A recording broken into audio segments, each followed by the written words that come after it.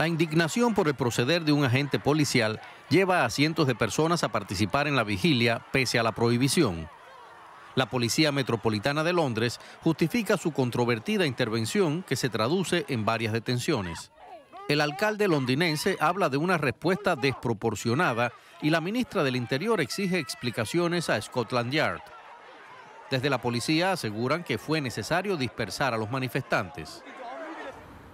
No queríamos llegar a una situación en la que fuera necesario adoptar acciones para que se cumpliera la ley, pero nos vimos obligados. Era necesario proteger la seguridad de los ciudadanos. Una multitud formada sobre todo por mujeres se había dado cita en el sur de la capital para llevar a cabo una vigilia en el lugar donde desapareció Sarah Everett. Para nosotras, especialmente como mujeres, es importante apoyar a Sara mostrarle nuestro respeto, demostrar que no van a conseguir intimidarnos. Es importante que mostremos nuestra presencia, porque todas nosotras podíamos haber sido Sara. El agente de policía de 48 años, acusado del secuestro y asesinato de la joven, compareció ante un tribunal de Londres.